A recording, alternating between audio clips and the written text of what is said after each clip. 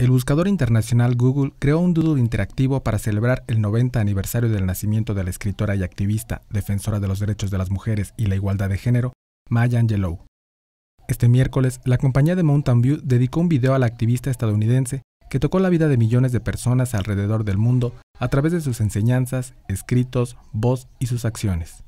En la presentación, se muestra una imagen de Angelou así como frases que la hicieran famosa bajo el lema Me alzaré, además de otros textos de algunas celebridades como Alicia Keys y Oprah Winfrey. Su primer libro fue Sé por qué canta el pájaro enjaulado en 1969, para seguir con seis trabajos autobiográficos, así como poesía, literatura infantil y hasta libros de cocina. Angelou defendió los derechos de las mujeres y la igualdad de género, redefinió la belleza negra y celebró las tradiciones orales afroamericanas. Además, abogó en contra de la guerra e hizo campaña por la paz universal.